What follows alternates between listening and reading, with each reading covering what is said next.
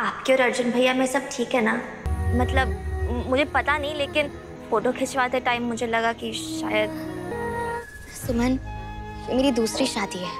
मैं जानती हूँ बताया था भैया ने। मेरा मेरा पिछला रिश्ता ना बहुत खराब था।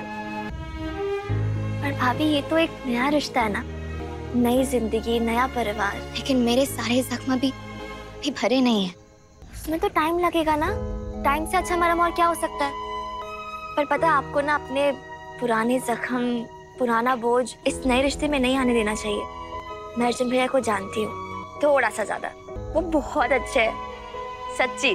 और उनकी फैमिली भी।